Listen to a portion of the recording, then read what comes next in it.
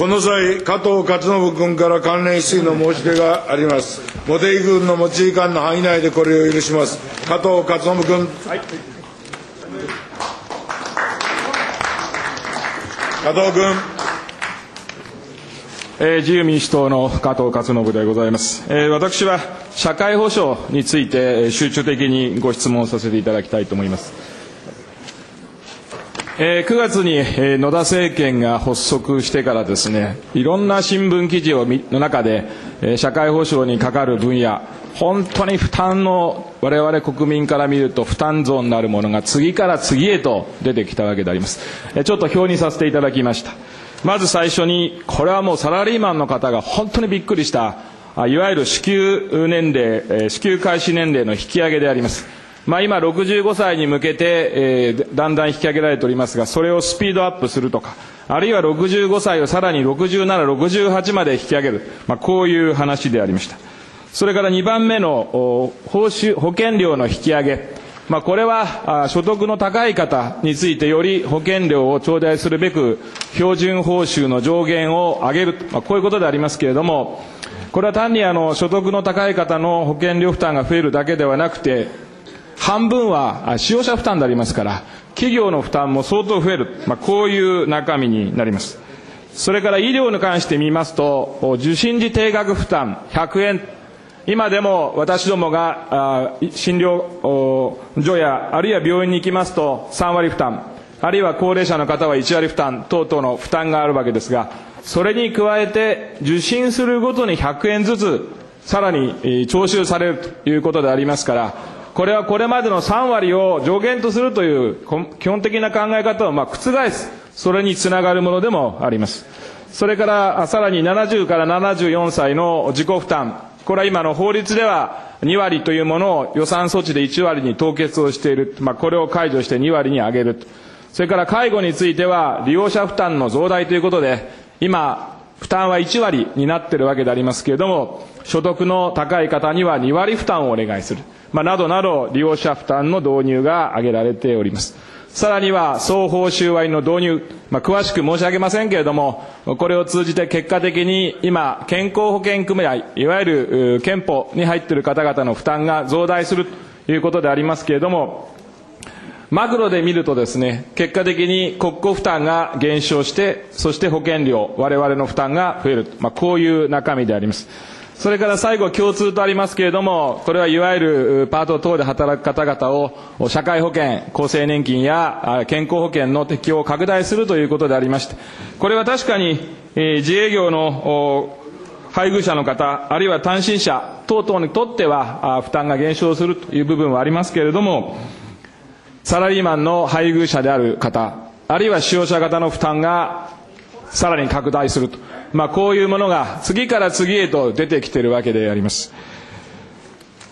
野田大臣の所信表明演説では、希望の種をまきましょうと、まあ、こういうお話がありましたけれども、これを見ると、種と申し上げたらまだ検討中ということですから種でありますが、一生懸命負担の種をおまきになっている、こういうふうにしか思いようがないわけであります。私の地元に、よく祭りの時に備中神楽っていうのがありましてね、そこで、あの、大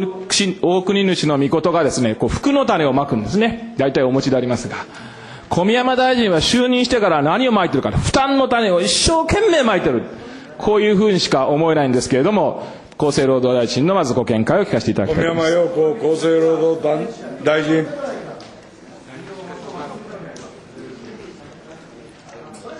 えーと、社会保障の一体改革につきましてはこれは言うまでもなく世界一の超少子高齢社会になっている中で、え毎年1兆円を超える負担が増え続けています。それを持続可能な機能をしっかり強化したものにするために一体改革をしなければならないと。でこれはあの政府の方として社会保障の集中検討会議の方で、えー、6月に、えー、政府としてそこで検討したものを一体改革の成案としてして取りまとめ8月に工程表スケジュールが示されましたのでそれに基づいて今あの厚生労働省の、え審議会などで一つ一つあの議論をしているところです。ただあの国民の皆様にその負担の種とおっしゃいましたけれどそちらの側だけが次々に出てしまっているというそのえー、議論の仕方の順番それから皆様へのお伝えの仕方は非常にまずいと思っておりましてそれはあの私の方でもあの、えー、10月の14日に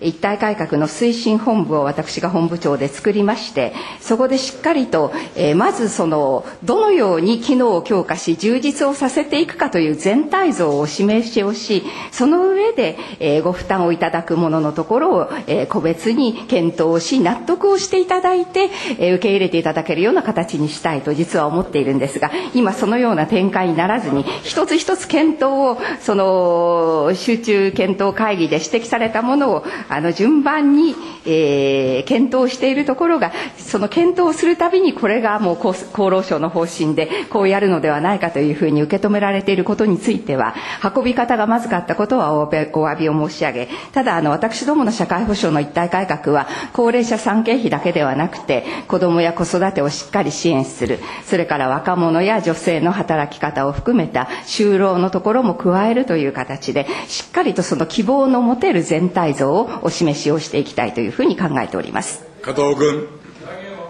今の大臣のお話を聞きながらですねあのせ、えー社会保障税の一体改革提案っていうのがありますけれども、これあの、私どもから見て非常に不思議なのは、政府与党社会保障改革本部というところでは決定をされているんですが、閣議では報告になっているわけですから、まあ、先ほどもいろいろ閣議の議論がございましたけれども、閣議決定ではない。したがって閣議全、内閣総員としてですね、それをするということには必ずしもなっていない。そういう中で大臣が進められているということは、大臣のごしご判断で、社会保障制度、社会保障審議会のそれぞれの部会に、これにこういうことについて審議をしてくださいよ。こういうことですよね。したがって大臣のご判断でお勧めになっている。そういうことでよろしいですか？小宮山厚労大臣。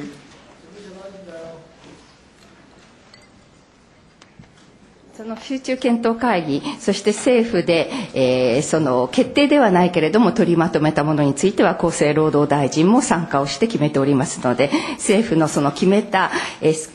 こういうものを検討するようにと言われたことの中で厚生労働省が検討するべきところは今部会で検討しているというのは私の責任者のもとでやっていると、えー、見ていただいてよろしいというふうに思います。加藤君まあ、従っていろいろメニューがある中で最終的には大臣がですねすべきかすべからずかこれはご判断されるわけですから検討すべきということで今ややってるということを答弁をいただいたということでありますがただ問題はこれだけではないわけであります。ちょっとこのボードにか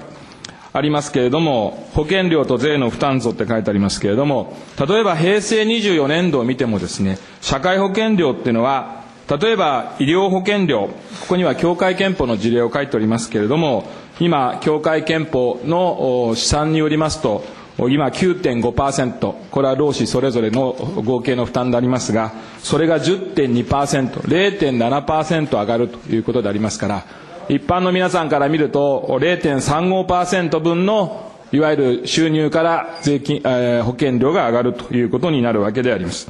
それから介護保険料、これもですね、今、あの、平成24年度から介護報酬の改定になるわけでありますが、それに向けて全国平均、これは65歳以上の方が負担される保険料ということでありますけれども、これが4160円から5000円程度に上がるんではないかということであります。さらに年金については、それぞれ毎年0.354%、あるいは国民年金については、まあ、月額280円、このプラスマイナスアルファっていうのは若干状況によって改定があるということでありますが、上がっていく。そしてこれに復興増税。その上で、今議論あります消費税が20年、2010年代半ばまでに段階的に10%まで引き上げられる。まあ、こういうことになるわけでありまして。国民から見るとですね、消費税が上がるんだから、まあ他のものは、あ抑制、えー、上がることは抑えられるんではないか、という、まあある意味では期待があったと思いますが、こういう話をずっと聞いてると、いろんなものがどんどん上がって、さらに消費税が上がっていく。まさに国民から見るとですね、そういう負担の板挟みに入っている。しかも今、ご承知のようにデフレが続いております。我々の皆さん方の平均給与はですね、一時に比べてむしろ下がってきている、こういう状況でありますから、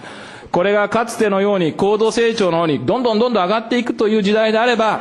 まだともかくかもしれませんが、今のデフレが続くような状況の中でですね、こういうことが次から次へということになります。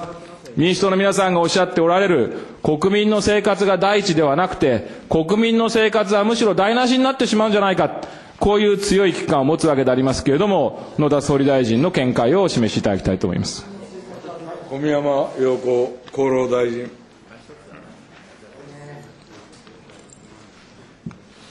あの来年度から保険料の引き上げが見込まれるものとしましては協会憲法の保険料後期高齢者医療の保険料厚生年金保険料介護保険の第1号の保険料などがございます。でこうした引き上げはあの高齢化などによる給付の増加に対応して制度を持続可能にこう維持をするために必要だと考えています。ただこのご負担をいただくだけではなくて今それがよくあのお伝えできてないのは申し訳ない。これからしっかりしたいと先ほど申し上げました。社会会保障のやはり全体像としまして、えー、これは先ほど申し上げたように未来への投資ということで子どものところをしっかりやる。それから医療介護のサービスの強化ということで医療提供体制として在宅医療とか在宅介護これを地域包括ケアも含めてきちんとやるということ。それから貧困や格差を是正するためのセーフティーネットを作る。それから多様な働き方を全ての人が参加できるような働き方を支える社会保障制度にするということ、えー、そしてまたあの、えー、それに伴う安定的な財源を確保するということで当然無駄は省いてきますがこれだけ世界で一番の超少子高齢社会の中でこれだけの機能を充実するのには目的税としての消費税もこういう形で必要だというふうに皆様にご納得いただけるように全体像をなるべく速やかにあのお示しをしていきたいとそのように考えています。加藤君。あの消費税の議論って必要であることは私も否定はしませんがただあの例えば西安の中で見ますと消費税5%分のうち1%はいわゆる社会保障の充実機能強化という言葉になってますけれどもしかしその機能強化は消費税の1%分だけでは賄えないんですね実は。年金も医療もですね公費の部分以外は保険料やあるいは自己負担によって賄われているわけでありますから国民負担はそれだけにとどまらない。例えば介護を充実すれば公費負担とともに介護保険料とそして自己負担も当然上がってくるわけであります。そして費用者の保険料が上がればその半分だけ企業の負担もこれ上がると。こういう仕組みになっているわけであります。そういう全体を考えるとですね我々その個々の政策にバラバラにやっぱ議論されたんではなかなかさっきおっしゃった全体像が見えない。受益と負担の全体の姿が国民に示されてすなわち負担は税だけじゃなくて、保険料はどうなるのか、自己負担はどうなるのか、こういったものが見えないとですね、やっぱり私は理解を求めること自体が無理無理なんじゃないか。そういう意味でですね、そもそも社会保障と税の一体改革っていう、このタイトル、一般的に社会保障って言えばですね、むしろ受益の部分を我々はイメージをするわけであります。片や税、これ以外には社会保険料や自己負担もあるわけであります。なんでこういうタイトルにされたのか。むしろ社会保障全体の負担こうなりますよ。そして保険料や自己負担はどうなりますよ。こういうことをきちんと示していく。しかし残念ながらこの制案の中に書いてあるのは公費負担だけであります。それを考えるとですね、社会保障を考えておられるのか、むしろ財政再建の方にかなり傾いているんではないかと、まあ、こういう思いがするわけでありまして。野田総理は前、財務大臣、前財務大臣でいらっしゃいますから、なんかその影響を非常に強く引きずっておられるんではないのかな。むしろそれ以外の国民から見た時の負担がどうなるのかっていうことを初めて示して議論しなきゃいけない。私はそう思いますけど、大臣、あ失礼、総理、どうしてそういう全体像をお示しにならないんですか？内閣総理大臣。あの、基本的には正しいご指摘だと思います。今回のこの一体改革成案作る時もですねその社会保障改革公費の負担もあるけれどもご指摘のように保険料どうするんだ自己負担どうするんだというそういう全体像が見えなければおかしいねという議論は相当ありましたそういうことも含めて今あの厚生労働省の下で行われている審議会についてはそれぞれのテーマについてやっぱり全体像がしっかり見えるようなそういう議論をしていただきたいというふうに考えておりますのであの私は認識は全くそれは同感でございます。加藤君。いや、私が申し上げたのは、バラバラで政策テーマごとではなくて、それをパッケージにした中でですね、